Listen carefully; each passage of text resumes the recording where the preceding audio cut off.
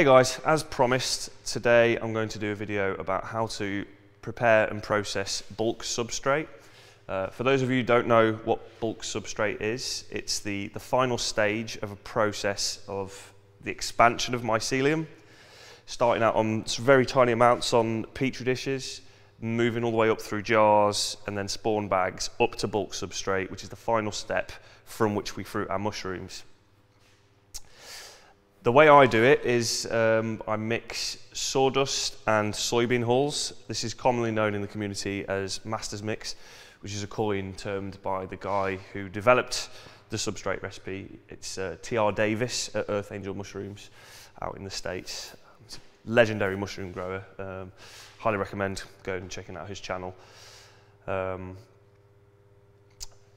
a lot of the videos that you'll see of people preparing substrate online, um, they have lots of big machinery. They'll have like mix, back, batch mixers and um, you know dry baggers, wet baggers, all sorts of different machinery. Um, I'm not at that point yet. I literally just have a bucket, a spade, and a hammer and a chisel, and you know just a bit of time and a bit of elbow grease. So uh, you know for those of you who are just starting out or maybe you know thinking looking for a way to easily do sort of smaller smaller batches, you might get a little bit of value out of this. So as I've mentioned in a few of my other videos, I'm using hardwood fuel briquettes. Now they they are really good. Uh, they're really good value, really um, good quality as well. Um, it's pure oak, the ones that I use anyway. Problem with it is, is there it's a, quite a bit of extra work to process them. I think if I had like a cement mixer or something like that, it might be a little bit easier.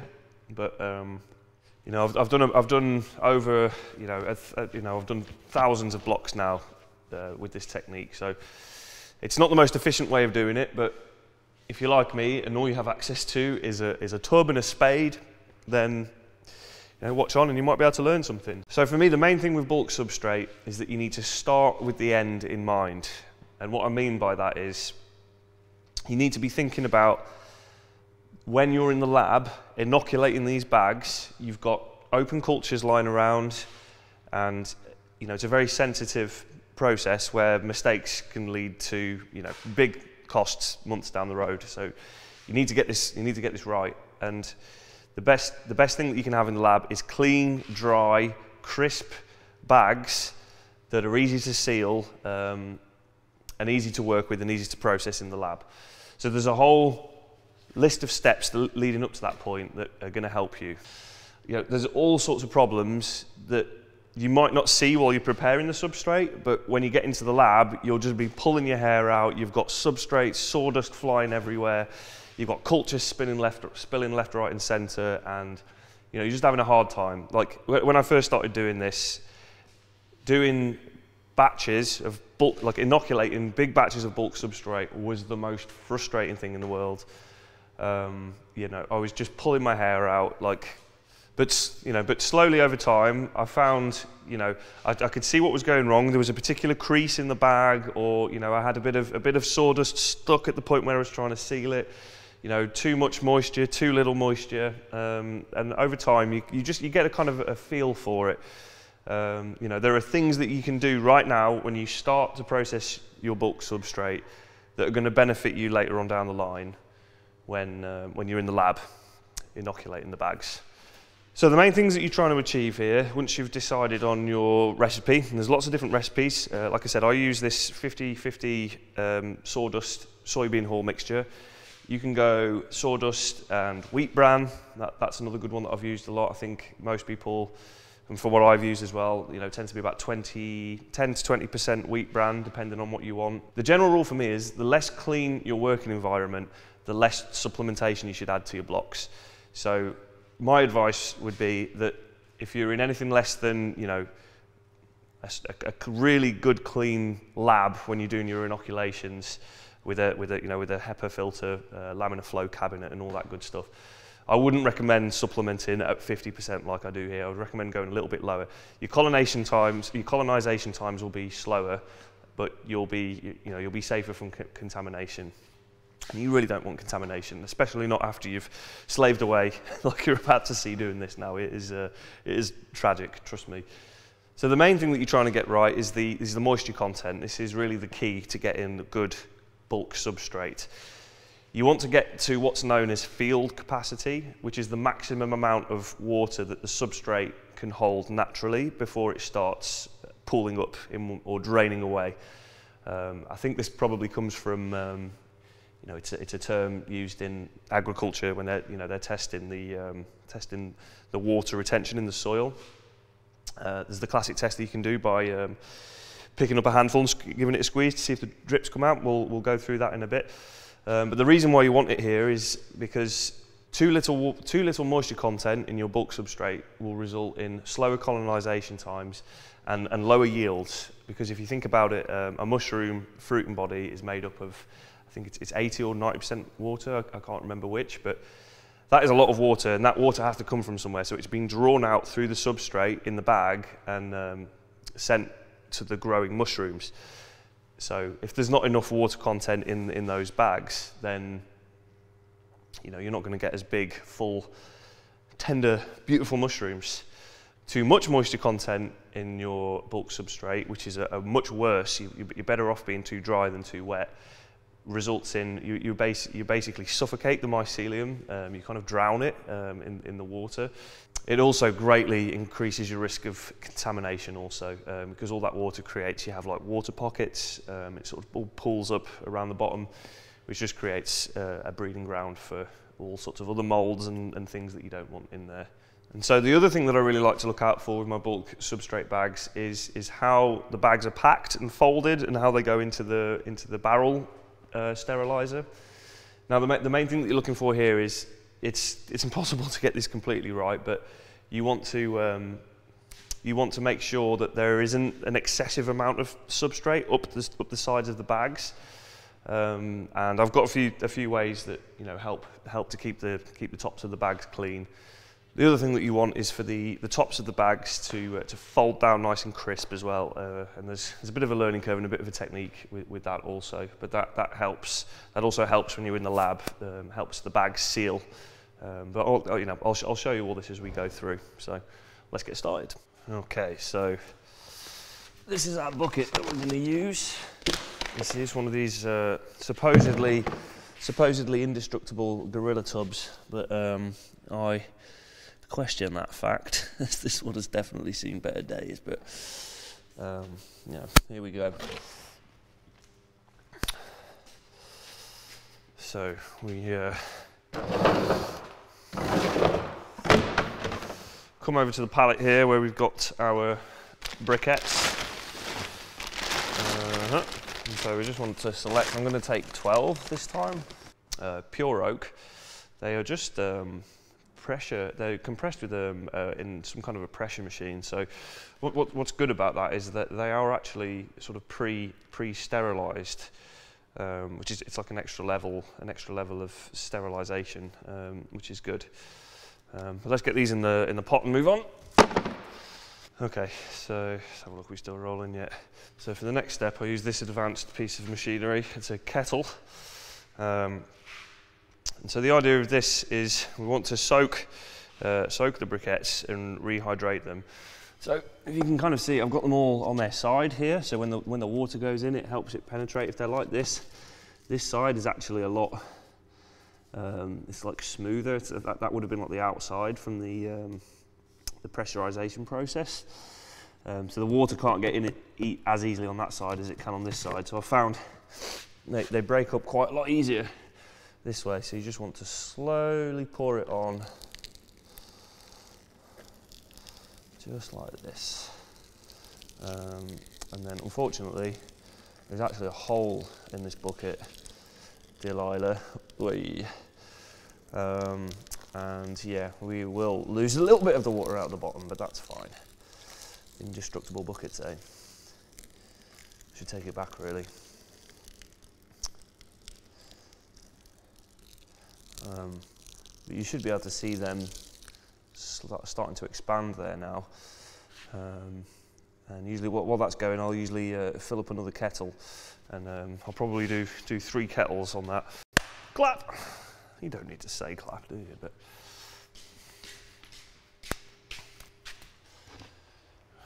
kettle number two is done. In we go. You see they've probably uh, expanded a fair bit there. Um, you want to make sure that you actually pour it over like each of the briquettes. Um, because actually, uh, like pouring onto them, it does it does it does help. Um, you don't want to be in a situation where you're sitting here for an hour just breaking it apart by hand. Um, there's always going to be some big chunks in there afterwards, but there we go. That's kettle number two. Kettle number three. Uh, so I should probably mention that um, the reason I use the boiling water as well is it's um, it's it's ten times better at rehydrating these. You can you can try it with cold water, but you'll you'll probably just need to leave them leave them to soak overnight or something. Um, and I just do not have time for that. But you can probably see see that they're sort of slowly starting to expand there now. Um, we'll probably do one more kettle, kettle number four. This is the last one now. As you can see, they've uh, they've broken up quite nicely. Um, now, usually uh, I have to get the hammer and chisel out uh, to break them apart a little bit, but these ones look like they've come apart really quite easily, actually. So, for all my complaining, it actually seems to have gone pretty well this time. But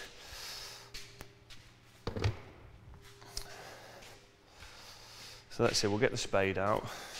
Okay, spade time. So.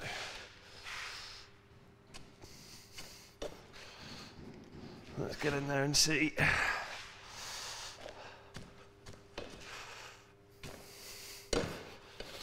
So I can already tell it's not completely. Hmm. Okay, so what i'll tend to do now is get the hammer and chisel out. Um, and you'll find that despite the soak, you've still got big bits like this. I mean, some of them will come apart. I mean, that one's come apart pretty nicely actually looking at it. Uh, I don't know if you can see that from there, but you know, you sort of just have to get your hands in there and uh, break it up really. But you kind of have to just go through the entire bucket like this.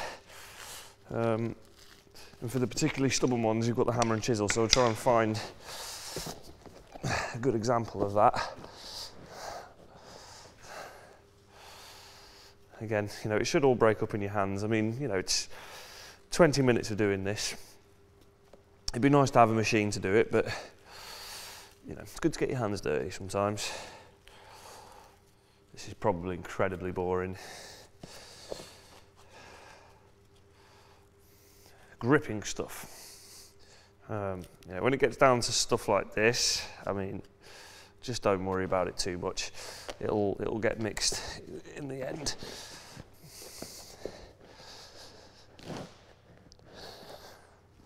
There you go. It's basically a full full brick still there. So here's a great example. That won't go apart by hand. So um, again, in the side there, and then get your hammer and chisel out and sorry microphone. Probably clipped clipped to the meters but um, it's okay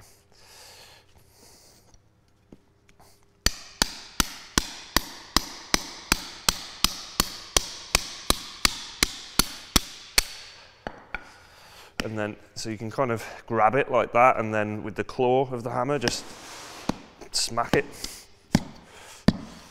Um, that's going to need more water definitely.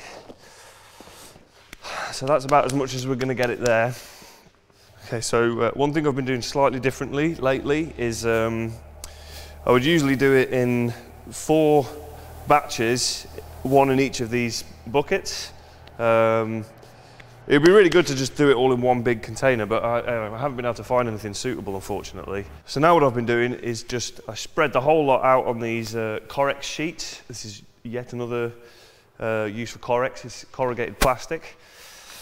Uh, it's worth doing a video on in its own right, but you know, you just grab it and, and spread it out. Once you've got it to this point, um, and you, you'll see, you know, you can see we've got quite a few big lumps of that still, but that's okay And again, I'm sure you could just leave it to soak overnight, but you know, I, I, I have trouble. I've tried that and I've had trouble draining the water away, and then ended up with, um, you know, it's, too, it's too much water in the in the substrate. Then. Um, I mean, the, the hardwood fuel pellets, the, the reason why people use them is that they can actually go into the bags dry.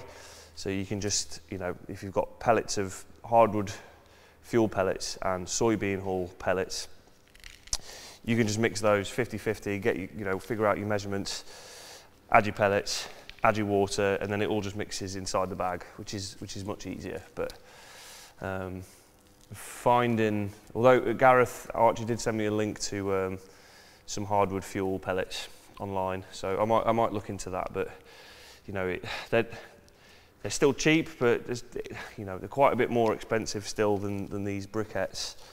I think it was like 190 pounds for 900 kilos of these briquettes. So um, you know. So you know, you do do what you can with your hands, and then you know whatever whatever's left afterwards, you can just you just pour more water onto it. Fun times. So trusty hose, get it on the right setting, and we're just going to soak these top blocks.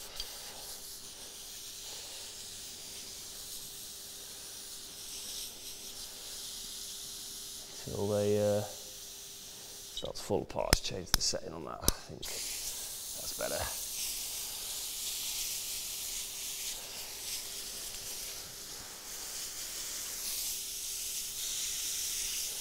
I must mention a good thing to have here would be like a flow meter, so you can measure exactly how much uh, how much water that you've got going in. Um, I don't have that. Um, I just like using the hose, so I'm just I just go by um, you know just go by the way it feels. You can kind of you kind of get a sense of how much water that you need to add.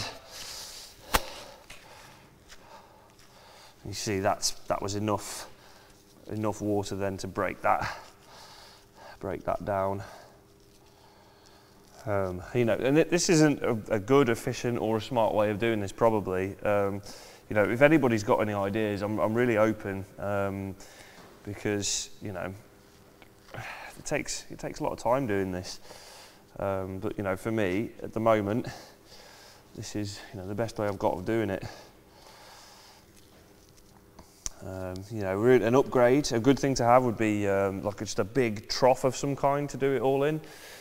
Um, and then have a, a flow meter uh, with a, with a well, attached to the. Uh, I think you can get go uh, attached onto hoses. They have like a solenoid valve, and it, you can type in the amount of water, um, and it, you know it'll shut it off once once the correct amount of water has been applied.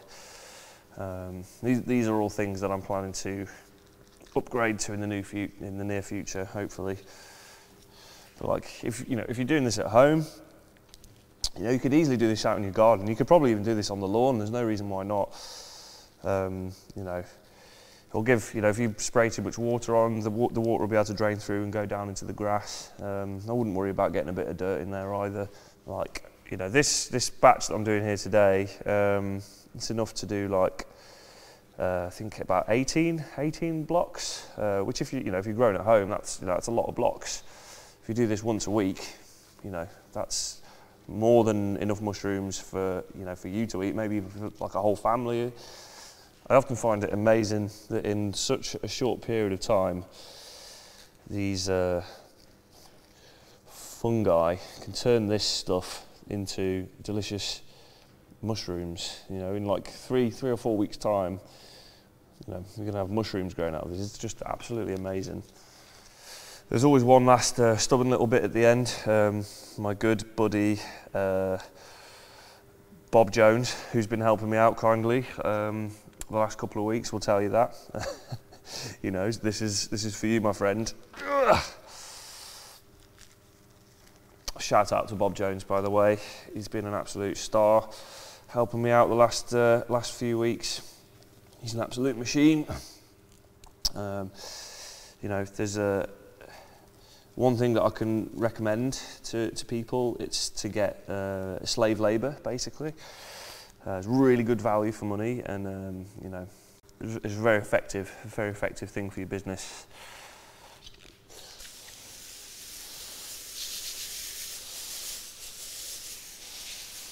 Okay, yeah, give it a bit of a spray down, and then the idea now is that you want, if there's any chunks still, you want to try and bring them up to the surface.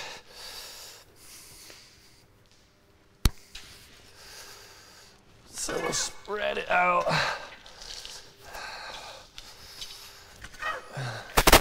Because there will still be chunks in there, I absolutely guarantee it.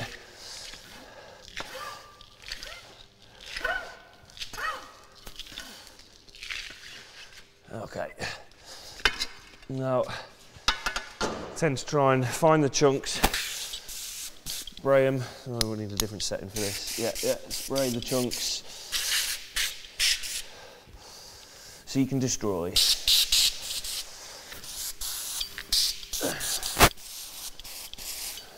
a bit of a general spray down. There we go. Okay.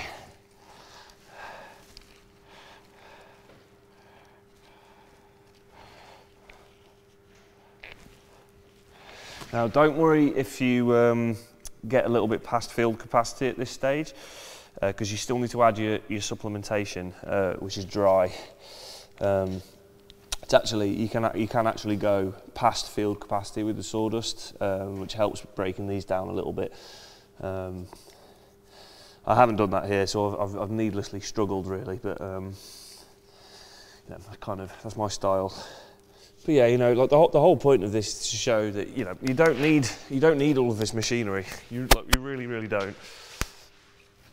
Would it be nice? Yes, of course it would. And at some point, I'm definitely going to go there. But you know, it can be quite daunting when you when you see all of this stuff and you're like, oh my god, I need a batch mixer and a bagger and all these things. Okay, so now what I'm going to do is create a bit of a um, make it make like a bowl, and in this bowl we're going to put our supplementation of choice, which in this case is uh, soybean hulls.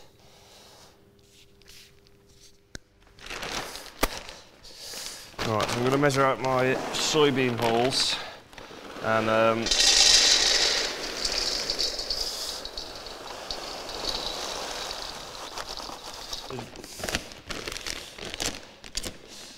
so generally I add um, four kilograms of soybean hulls for every 12 briquettes. Um, seems to be a good amount. It's like a little bit less than 50-50. Uh, so that goes in there.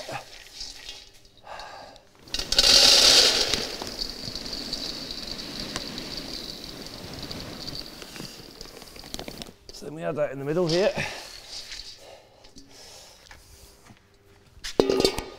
So now we want to spray the soybean hulls and get them hydrated as well. So I tend to just give them a good spray, uh, leave it for a few minutes to, uh, to absorb, then mix it all together, and then it's just a case of um, spraying down, mixing, spraying.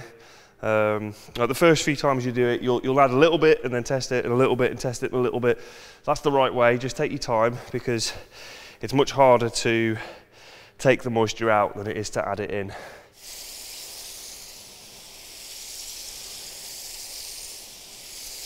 And again, there are better ways to do this with flow meters and everything. You know, you can be more more scientific with it, but this is just me doing it. You know, this is the most basic possible way, really, of do of doing this. All right, so you can probably see this, the same with the um, same with the uh, the briquettes. The, uh, the, the, pellets are basically just tiny briquettes.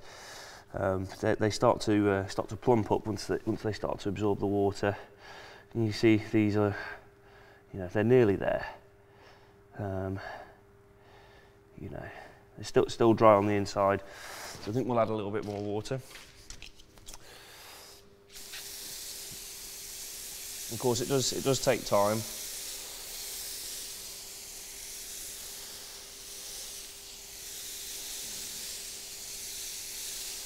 Okay, so I think we'll give this a mix round now. And we're going to mix it all together.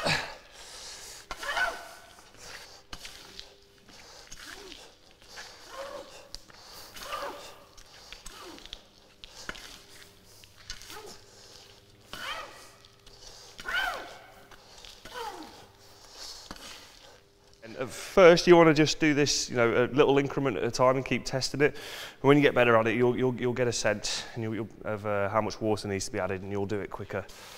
So.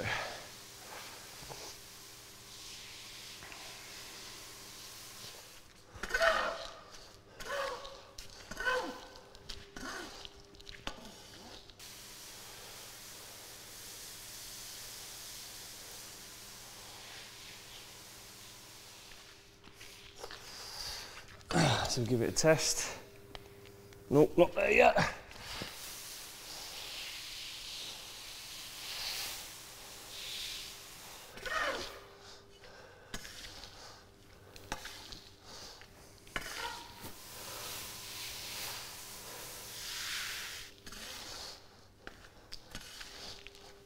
I can tell that's really close now, just from looking at it.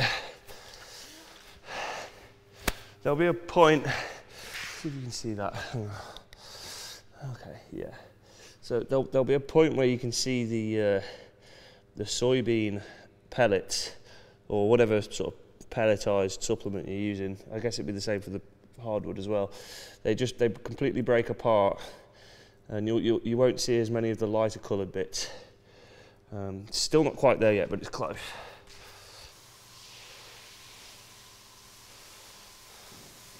So uh, we're now taking bets to see if I actually overwater this or not. So it was, I should say really, th uh, this part is crucial now because it would be very, very easy to overwater it, right? Um, so if you're not sure, just add a little bit, test it again, add a little bit more, test it again until you're perfect. Okay, I think that might be there now.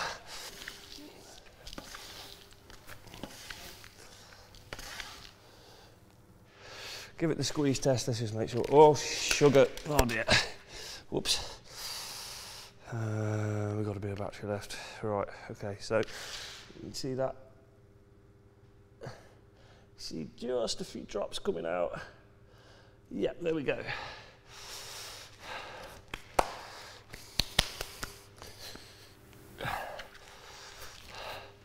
For that last one, we had just a few drops coming out, so Yeah, there you go, you see that? Just a little bit coming up. I'm squeezing it as hard as I can. That whole pile is at field capacity. All right. I'm now going to clear a little area for me to bag. I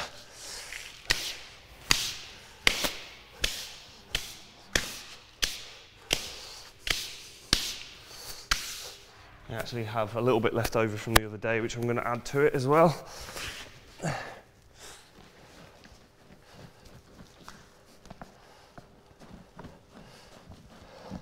I ran out of bags on Monday and this is left over. Uh, so I should say a quick note about the, uh, the field capacity test that I just showed you how to do it there. There are more scientific and accurate ways of doing it um, where, where you, um, you can weigh the difference between, um, you can add water uh, and dry it out and, and weigh the difference. Personally, I, I, I've never done it.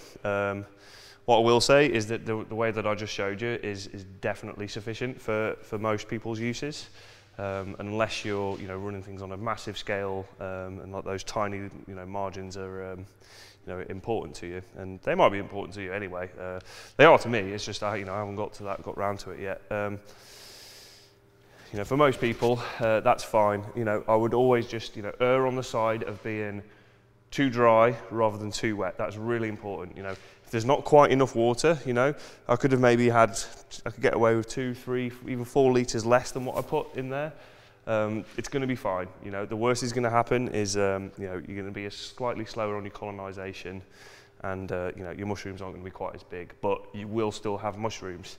If you add too much water and it gets contaminated, there's no mushrooms at all. So um, especially when you're first starting out, just you know, err, err on the side of uh, less moisture rather than more. Okay, so here we are, ready to uh, bag up our substrate. Um, the bags that we're using are these. Um, they are Unicorn 3TL bags. Um, I ordered them from Glückspilz in Austria.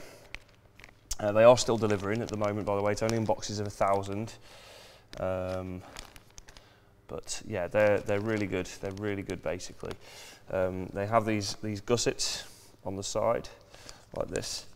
And um, that's really good because it, um, it allows the bag to create, it, it self-seals once it cools after it's been in the, uh, been in the sterilizer, uh, which is really good because um, while it's cooling down in the sterilizer, which you can see over there, um, if, they, if the bags don't self-seal, they, they will pull dirty air inside the bag as, as they cool down, rendering the whole process useless.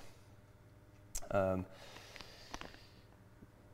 the problem with the gussets is that when you are, if you're using an impulse sealer, um, the way that they're folded means that you have to make sure that these bags come out of the sterilizer still fully intact. You don't want them to have warped or stretched because that's going to create little air pockets um, where, where the seal should happen and you're not, you know, you're not going to get a perfect seal.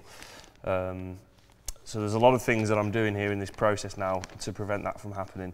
Uh, the other bit I should mention as well is that you don't want to have, so your substrate is going to come up to about here. Um, I'm filling them up to two and a half kilograms wet, which is a good amount for these bags. It's probably a little bit overfill, but I'm trying to get get the most out of my um, you know, out of my setup. Substrate's going to come up to about here. You want to try and keep the top of the bag as clean as you possibly can. Now, all right, when I first started packing these bags, I, I had all kinds of struggles getting them to stand up, and oh god, it, you know, it was an absolute nightmare until in my kitchen cupboard I found one of these, which is just a, uh, a basic you can get them from like Tesco's or wherever. It's just a, a, a plastic chopping mat, um, like a chopping board for vegetables. Um, and it's the perfect size to fit into these bags. The first step is to open up your bag,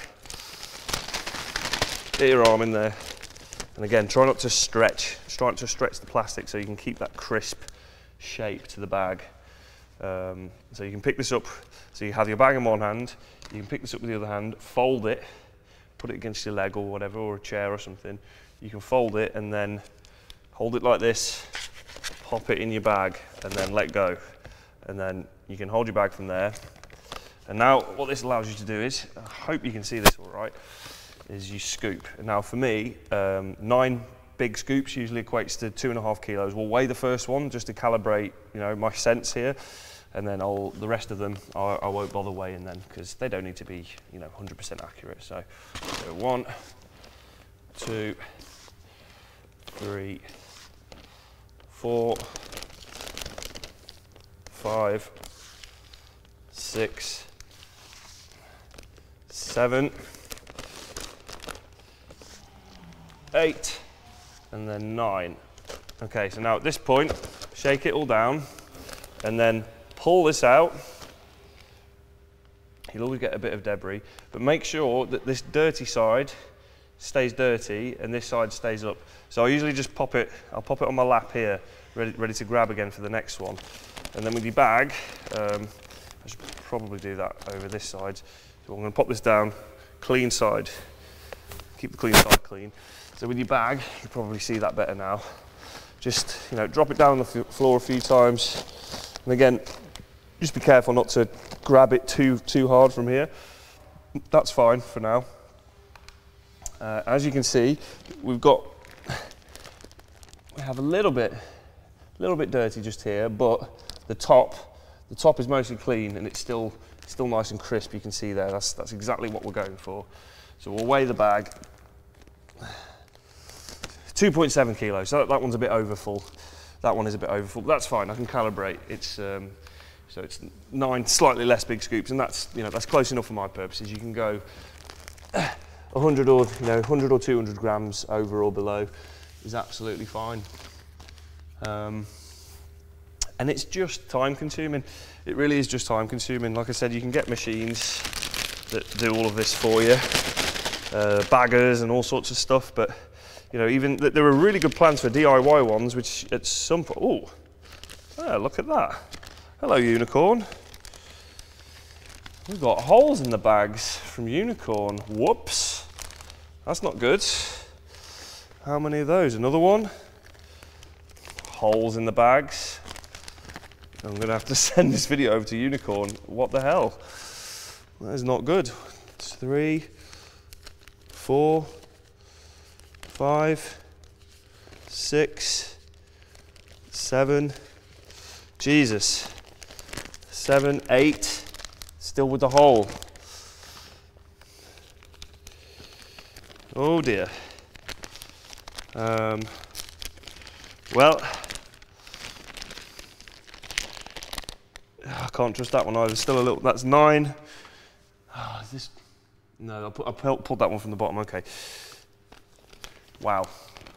That's nine bags from Unicorn, all that have a have a hole in. Uh, I'm sorry to out you publicly like this, but that that just happened. I did not plan that at all. Um, props to Unicorn though. They you know they're a good company, and I'm sure they will uh, refund me or something for that. That's not that's not good at all. But they are good bags. They are the best on the market still, I would say, even despite that. So I can't remember what I was saying now. Um, can't have been that important. But yeah, it's just that was it. Yeah, so it's just it's just time consuming more than anything. Um, you can get baggers, all kinds of machines, wet baggers, dry baggers. Talking and counting at the same time is, uh, is quite hard. um, but in my experience, you know, this, this is fine. This is fine. Um, you know, I've been doing this, you know, two or three times a week now for, oh, going on about six months. Um, and you know it's it's fine. Usually I just chuck a podcast on, put some tunes on or whatever, and, and, and blast through it. It's you know it's it's it's nice. Um, you know I'm pretty much at the limits of of how much I can produce with this now, but. Um, you know, it's fine. I don't mind. You know, and the thing is, is like if you grow, mushroom growing is extremely labour intensive, like extremely labour intensive. So if you're like yeah, there are ways that you can automate things, definitely. And if you're like a, a wizard with electronics and stuff, then you'll, you'll be able to automate your way out of that fact. Um, if you're like me and like not so much, um, then you're just going to have to be prepared to uh, graft, graft non-stop, basically.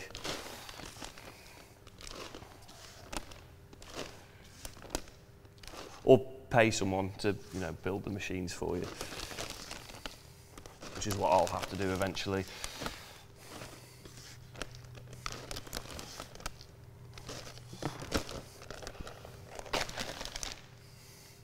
You see, that was a really good example. You know, very clean, very clean. Look, you know, there's no detritus, I guess is the right word on the, uh, on the collar of the bag and we can keep it like that all the way into the lab. I'll, I'll show you how we can keep it like that all the way into the lab. Um, this green bit of plastic, honestly, saves so much frustration. This is like one of my favourite, if, put, if, if, if I was to make a top 10 gear video, this would definitely be in the list. This thing, it's wonderful. It's been the same one I've been using since I started growing, uh, well, well, basically since I started growing mushrooms, yeah. Um, so, obviously not going to film this whole thing. This is probably enough to do about 30 odd bags. Um, so you're not going to want to sit and watch the entire thing, I'm sure. Unless you're really bored. Um, I guess the other thing to mention is as well, I've got these um, Correx sheets laid down. Um, the one underneath is, is wet. Uh, the one on top here is dry, and I, I, always clean this down and keep it clean afterwards. Uh, the reason being, and you know, you're always going to get a bit of substrate on it, but the reason being is you're putting these bags down. Um, if you know if they're getting all sorts of dirt on the bottom of them, they go into the sterilizer. The, the sterilizer will it will sterilize the dirt, but it's still dirt. Um, it doesn't, you know, the dirt doesn't disappear. It will just be sterile dirt, basically. Um, and you unload that into your lab, and you get in, you know, you just coat in your lab in um, a layer of sterile dirt, but the, it's dirt that won't be sterile for long. Um, they're all little inoculation points for, for molds and all those kinds of things. So, you know, you do, it, you're always keeping the lab or wherever, wherever it is that you're doing your inoculation, that should be at the forefront of your mind when you're preparing these bags at all times. Um, And if you can just if you can be careful throughout the entire thing, you'll be fine. You won't have any problems. You know, your sealer should seal the bags just just fine. Uh, there's a technique with the sealer as well. You know, I'll do a little video on that. Um, and you, you're going to have really fun times in, in, the lab. Trust me, it's you know it's possible. You don't you don't need to spend loads of money. Um, so, yeah, I'm going to crack on with this, and then uh, we'll carry on filming with the um, when we fold the bags and load the sterilizer. So we've got everything bagged up, and now we're over on the uh, bagging station here. As you can see, uh, I've kept the tops crisp and clean, as I mentioned earlier. Um, to excuse the noise in the background. So now it's, it's the next part of the process um, in, in, in terms of getting nice, crisp, clean bags for when we're in the lab that are going to be nice and easy to work with. Um, so we've got the, the collars are still crisp, they're still clean. So we want to fold them down in a way so that they, they'll self-seal in the sterilizer and they'll unfold when we want to inoculate them. They'll stand and then the heat sealer will, will seal, seal the edges you know, with a good, good solid seal that will, that will keep the air inside. So it's the best way of doing it really is to just get a feel for it really. So, you know, just try and even out the, uh, the substrate on the inside. Just you know, make sure you've got nice crisp edges and then you want to, it's kind of like origami really in a lot of ways. So following the, uh, the gussets, I usually give it a little tap there in the crease, a little tap there, just to pinch it in and then, and then you can kind of just shimmy it down. You see that still nice, basically as it came out of the, you know, came out of the factory still. And then you want to get it down to this point, squeeze the air out, and then I usually, with your first fingers and your thumb, pull the bag, grab it, pinch it underneath, and then press down like that. You'll hear air, you'll hear air squeeze out of it um, and then it, that should, you pull it down like that then, and it should hold, hold its shape. Um, it will have sealed, so it won't be able to, it wants to expand. I've squeezed it in. It wants to expand and pull air in, because of the way the gussets are and the way I've pinched it here, um, it's unable to expand. It's kind of, it's, it's already got a seal on it. So now, while keeping it pinched like that, you don't need to use a lot of pressure. I fold it, and also I should mention, always have the filter facing you, so then the filter is on the inside of these folds. So you fold it one, two, three times, and then flat against the block. I then turn it over, press it down, and it goes into the sterilizer.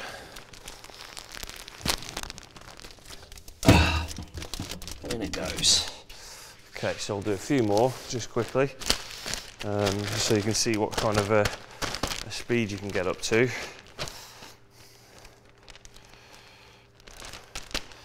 I'm actually just watching the battery on my uh, audio recorder there because it's getting a bit low unfortunately. But yeah, so keep it crisp. You know, just slowly work the air out, follow the gussets, pinch it, and you'll hear a kind of, uh, it's like a trumpet sort of a sort of a sound. So pinch it, you've got the seal, it's not expanding back out. You don't have to squeeze all the air out of it. Fold it, fold it, fold it, up against the bag, spin it over, grab it like that, and there you go.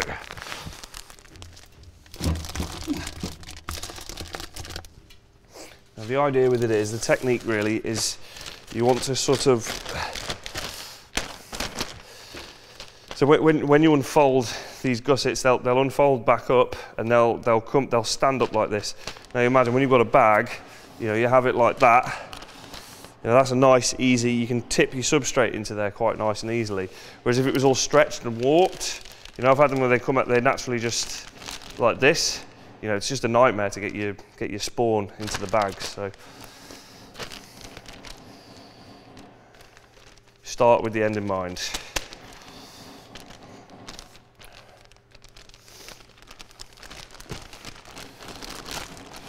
I'll just do a few more and then I think I might um, bring the camera over here and do a little close-up you've just, it really is just a, you kind of just got to get a feel for it. Um, it takes a lot of practice. It might look easy, but um, you know, I've done thousands of these things now and um,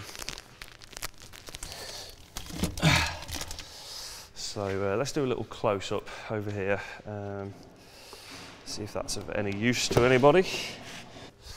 And do a couple here as a close up. Just see, can you see that? Yeah, that's good. So, okay. So pinch. Again, you just you just sort of move the bag around and just let it collapse in on itself. It will guide you where it wants where it wants to go.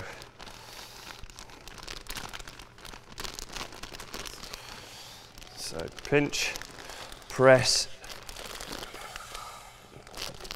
Maybe hear that air coming out of it. That's what you want. And then grab it. You've got your nice clean top there. Fold, fold, fold in on itself. Constantly keeping it pinched, keep the tension.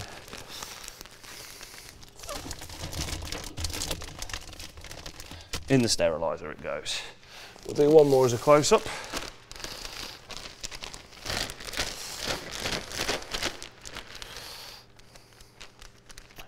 Pinch, pinch, pinch, pinch. Work with the bag. It's not, you know, it's, it's easy once you, uh, you know, once you know how to do it. And there, it's a bit uneven, so you can just, you know, give it a bit of a slap. There we go. And fold, fold, fold, fold. There we go. So, I'm actually going to bring it round to the steam sterilizer. So, so inside the steam sterilizer, I pack them this way with the uh, with the lids, with the uh, with like the tops up. Uh, we try and keep the tops away from away from the walls of the of the drum. Um, this last one will go in like this. Let's see if I can do it with one hand. So this last one just goes in like that and then folds. So the bottom, the bottom layer go in with the. Uh, this one always, it always end, that last one always ends up being close to the edge there, but that's okay. It should be fine. Uh, and then all the next ones, the the, the tops will, will face down, but I'll, I will show that in a second. The next lot, so the next layer, so we have seven in a in a in a row there. The next ones go upside down like this, and so I stack them so that that one sits on top of two. Um, and then you know, we just fill it up like that. So that's the uh, sterilizer all loaded up. I could probably fit, fit another bunch of bags in here to be honest, but um, that's all I was uh, all I was planning to do today. Um, yes, I better get a move on with this because I'm starting to run out of battery. So um, let's get this pushed over here.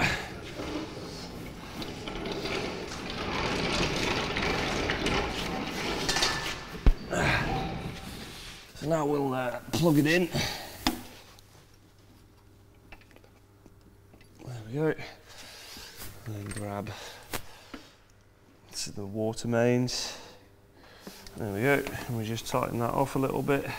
Uh, this sends water off to the off to the sterilizer and goes in through the float valve. Like I said, I only just emptied it. Um, I, I, need to drain the water off. I'll do it. I'll do it on the, after the next run.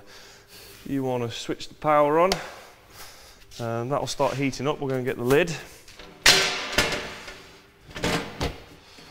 And away you go. So, uh, once your sterilizer is filled up, uh, filled up with water um, and you've switched it on, um, I generally leave mine on for about 20 hours. So, uh, from the point of switching it on, um, I set a timer or I figure out you know what time it's going to be the next day uh, and let it run for 20 hours. Uh, the reason being is uh, I've, I've measured it and um, it usually takes 10 hours for the, uh, for the center bag to get up to, uh, get up to temperature. And then once they're there, um, and this is about 97 degrees I'm managing to get mine up to in here. Uh, once they're there, they want to be, they want to be sterilised for 10 hours. Um, and, and the theory goes that, that that's, that's enough uh, to kill off, you know, kill off all of the uh, endospores and um, you know, other things. At least enough to give your mycelium um, you know, a head start so it can establish itself on the substrate. Um, again, with these, this, you know, you might look at this and it probably looks a little bit daunting, but um, you know, in reality, it was, you know, it didn't cost a lot. Um, I think in total, it was maybe 100, 120 pounds for the uh, for the whole thing. It was uh, I bought the the drum from eBay. It was 80 quid. Uh, you know, the heating element I think is is 20 pounds, something like that, and then the plumb bits are just you know stuff I've sort of found laying around. It might have been a bit more, about 130 pounds, something like that. But um, you know, th there are plans online that you can follow. Um, so I think Eric Myers was the guy who came up with the design, um, and he's worked with a company called um, Bubba's Barrels in the States. Uh, and you can get one of those delivered, um, but it will cost you over two grand to get it imported. Um, so two grand versus 130 quid, you know, it's a no-brainer really. Um, the hardest bit really was cutting the holes in the side of the drum. But you can get um, a step bit. You can get one of these. Um, it's enough to do the job. Uh, but anyway, I mean, I'll, I'll, do a separate. I can do a separate video about the steam sterilizer. Um, that's a whole other thing. The whole point of this video is to try to illustrate that you don't need lots of big machinery to grow mushrooms at a, a reasonable scale. Um, you know, everything that I've done there today, that you've seen me do today, you know, I can usually get done in you know, a couple of hours. It's a couple of hours hard work. Uh, it's not, you know, it's not a big deal. You know, I can do that, you know, three times, three times a week, and that's, you know, it's a lot of bags. It's a lot of bags. So um, yeah, I, I, hope you found something in there useful. Um, hopefully it's so, so hopefully it's uh, helped point some of you in the in the right direction and uh, maybe stopped a little bit of the frustration in the process because um, I, I know it can be it can be frustrating sometimes. So I'm planning to do some more of these videos. Uh, I think what I'm going to do is uh, these, these bags that are in there now, I shall take them into the lab on Sunday, I think. Was, or no, I'll, I'll take them in once they've cooked and then I shall inoculate them on Sunday. So I shall make another video about how I inoculate them in the lab then and just, just take you through the process basically. Um, take you on a journey with the mycelium. Uh, hope, again, I hope you enjoyed that. I hope you found something useful. And until next time, ciao!